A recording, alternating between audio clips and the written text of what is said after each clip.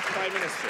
Speaker, I've been very clear. I learned of this matter on the 15th of May and, of course, immediately uh, made this information public. I've been uh, very clear about all of these matters, very clear about the dates. I've been very clear.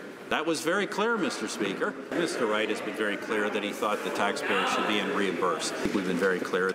When I learned those facts, I made them clear immediately. Mr. Speaker, we've been very clear on this. Once again, I've been very clear. My views were known. I've been very clear and consistent on that. First of all, I've been very clear, has already been clear. And let me be absolutely clear.